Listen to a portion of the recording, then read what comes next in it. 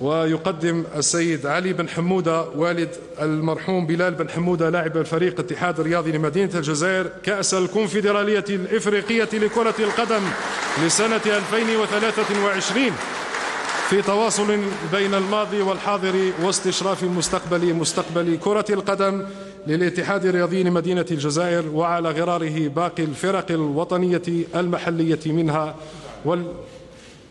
والمحترفة. يرفع السيد رئيس الجمهورية الكاس عاليا.